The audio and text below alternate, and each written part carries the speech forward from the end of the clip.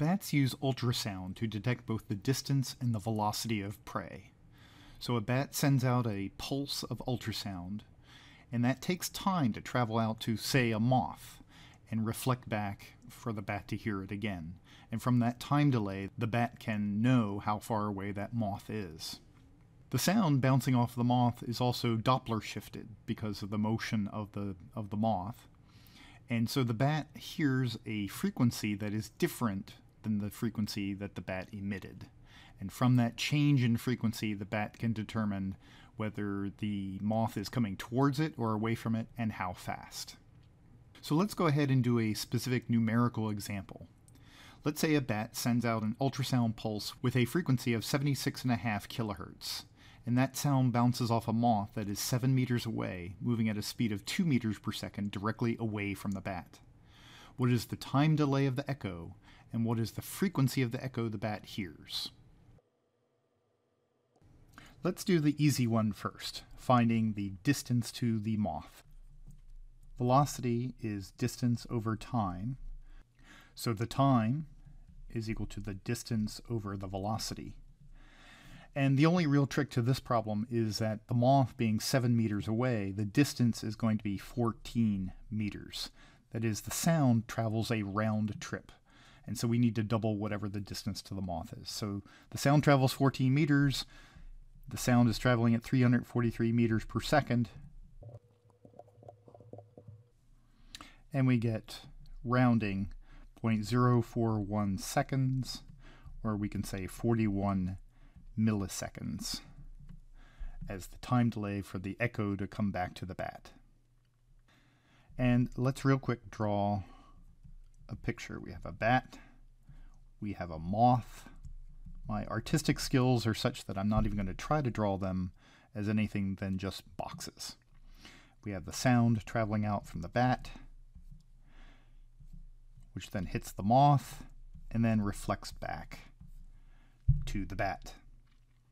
Now, in situations like this, where the sound is going out and hitting a moving object and bouncing back, we can't just use the standard Doppler shift equation. The reason for that is that essentially the moving object, here the moth, is re emitting the waves that have uh, hit it from the bat. And so, in a sense, we could calculate the frequency heard by the moth, which will be the frequency that gets re emitted back towards the bat. And so, the V of the bat, which I'm just going to label V, serves as both the V of the observer in terms of the sound waves hitting the moth, and then in the re radiating process back towards the bat, that V serves as V source. So our equation here is going to be V observed by the bat after the echo is going to be the emitted frequency V sound plus or minus V and V sound minus or plus V and the V of the moth is going to appear on both the top and the bottom. In this case, because the moth is moving away, we're going to use the minus sign on the top, and we're going to use the plus sign on the bottom of the fraction. So we're going to have 76.5 kilohertz times 343 meters per second minus 2 meters per second over 343 plus 2 meters per second.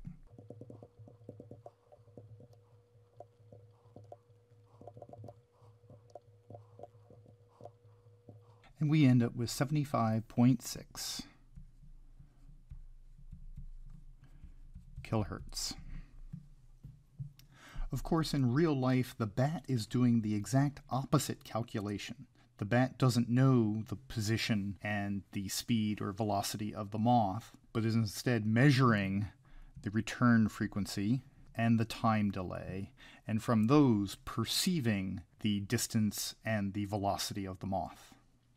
Regarding the Doppler shift equation, with the same V on both the top and the bottom, serving as V observer and V source. If you have a sound wave bouncing off a moving object, you're going to have to use this little twist in the Doppler shift equation for problems not only involving bats and moths, but for instance, uh, a submarine sending out a sonar pulse uh, and that pulse bouncing off another submarine or a uh, ultrasound transducer, for instance, used in medical imaging.